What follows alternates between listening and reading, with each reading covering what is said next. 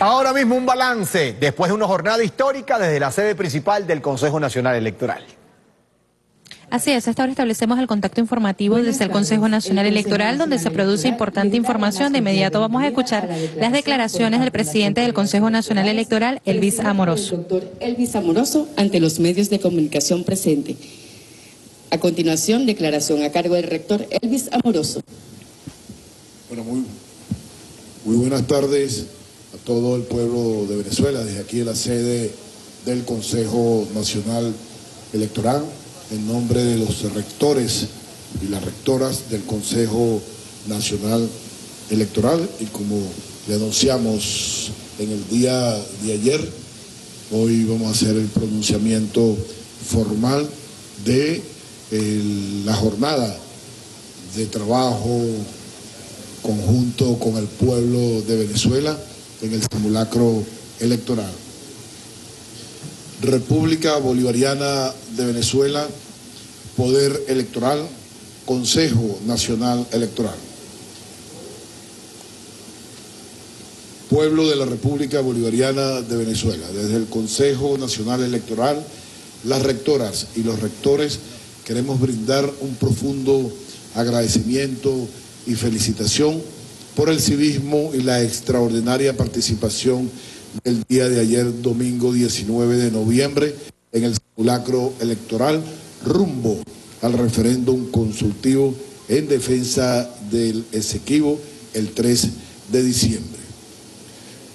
Recorrer cada uno de los rectores y de las rectoras los centros de votación, tanto en Caracas como a nivel nacional, demostró y se verificó el compromiso de un pueblo con su deseo de familiarizarse con el mejor sistema electoral del mundo y con lo relacionado a la votación para el día 3 de diciembre.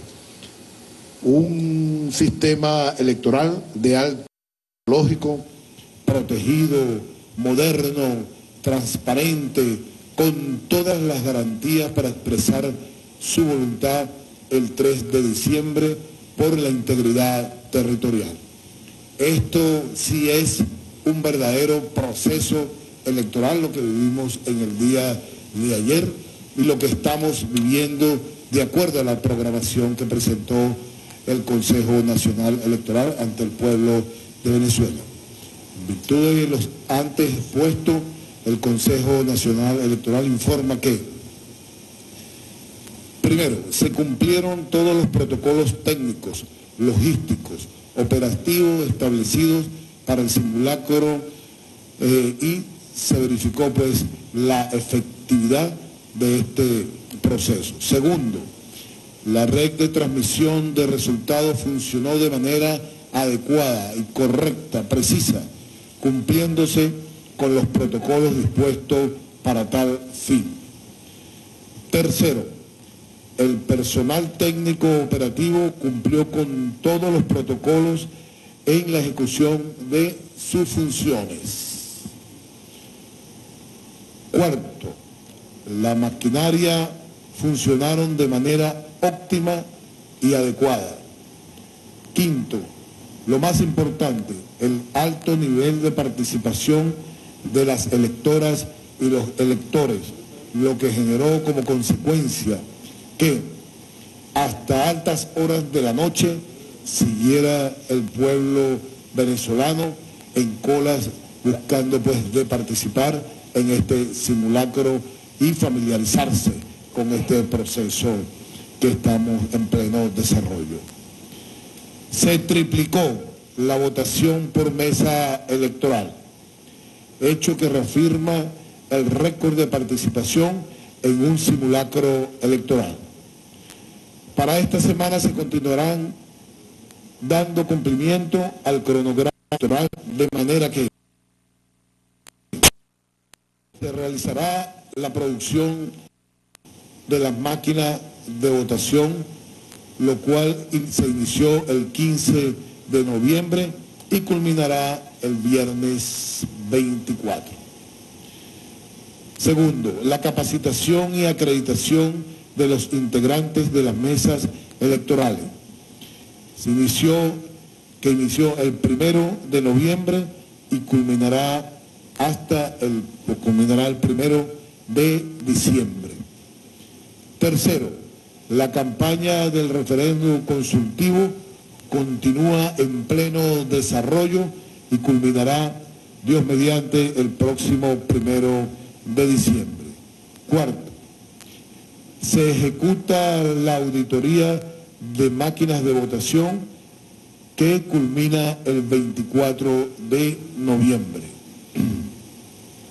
Quinto, la acreditación de los testigos de las organizaciones con fines políticos está en plena ejecución. Sexto, los días martes 21 y miércoles 22 de noviembre se realizará la auditoría de la infraestructura electoral a la cual fueron convocados las organizaciones con fines políticos, entre ellas Cambiemos Movimiento Ciudadano, Comité eh, COPEI, Comité Electoral Independiente,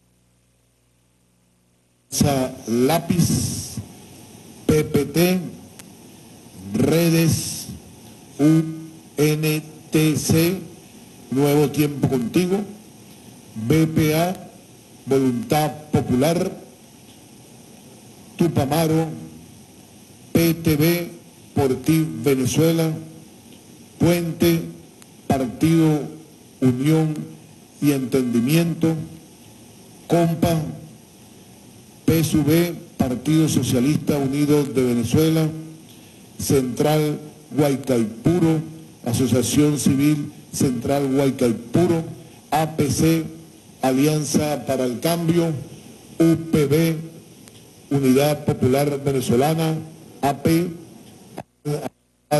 Progresista. Finalmente, el Poder Electoral, felicitamos a la Fuerza Armada Nacional Bolivariana, a los cuerpos de seguridad del Estado venezolano por brindar toda la seguridad antes, durante y después del simulacro electoral, así como también a los ministerios del Poder Popular para la Educación, Ministerio del Poder Popular para la Energía Eléctrica, Ministerio del Poder Popular para Relaciones Interiores, Justicia y Paz, Ministerio del Poder Popular para Ciencia y Tecnología, Corpolec, Cantebé, Movilnet y todas las instituciones que forman el Comité Logístico Nacional, debemos continuar afirmando detalles a través del Comité Logístico Nacional para el éxito del referendo consultivo del 3 de diciembre. El 3 de diciembre todos a votar unidos en el consultivo por el Esequibo. Elvis, presidente del Consejo Nacional Electoral, rector Carlos Quintero, vicepresidente del Consejo Nacional Electoral, rectora Rosalba Gil, rectora Agnés Nogal, rector Juan Carlos del Pino, rector Imac Saxa, rector, rectora Aura Rosa Hernández, rectora Ana Julia Niño, rector Fabio Zabalce Pavón, rector Leonel Párica, rector Conrado Pérez, rectora Antonia de Estéfano, rector Gustavo Vizcaíno, rector Francisco Garcés, rector Tulio Ramírez, doctor Antonio Menezes, secretario. Aprobado todo por unanimidad. Nuevamente le agradecemos al pueblo de Venezuela y a todos los presidentes de los poderes públicos por todo el apoyo que le han venido dando a el Consejo Nacional Electoral, al Poder Electoral, como uno de los cinco poderes de la patria, pero seguimos insistiendo, lo más electoral son ustedes, venezolanos, venezolanas, que están participando masivamente en esta programación y estamos seguros que el próximo 3 de diciembre acudirán masivamente a expresar su voluntad absoluta. Muchas gracias a todos. Bien, acabamos de escuchar las palabras del presidente del Consejo Nacional Electoral. Ha dicho que la red de transmisión funcionó de manera adecuada, se verificaron los procesos logísticos, el personal operativo técnico cumplió con todos los protocolos, hubo una amplia participación en el simulacro. Además ha dicho que continúan las auditorías, está en proceso la auditoría de producción de las máquinas que culmina el 24 de noviembre, sigue la capacitación de los miembros de mesa y continúa la campaña electoral hasta el primero de diciembre. Mañana también inicia la auditoría de la infraestructura electoral. Con esta información nosotros vamos a despedir el contacto. Importantísimo balance del Consejo Nacional Electoral, así lo indicaba su presidente, doctor Elvis Amoroso. Lo que se observó el día de ayer, domingo 19 de noviembre, es un compromiso con la patria por parte de todos los venezolanos y las venezolanas que participaron activamente en este simulacro. Es un proceso donde se familiarizaron aún más con el sistema electoral más moderno, garantizado, confiable, transparente del mundo rumbo a este referéndum consultivo el próximo 3 de diciembre. Todo está listo, todo funcionó a la altura.